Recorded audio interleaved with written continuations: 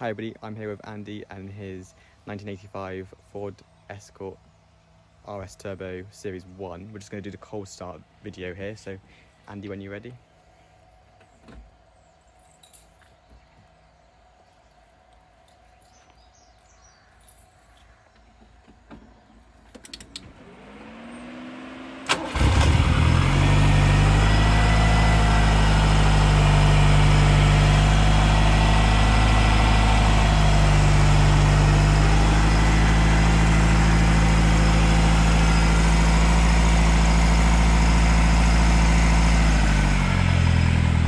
Exhaust.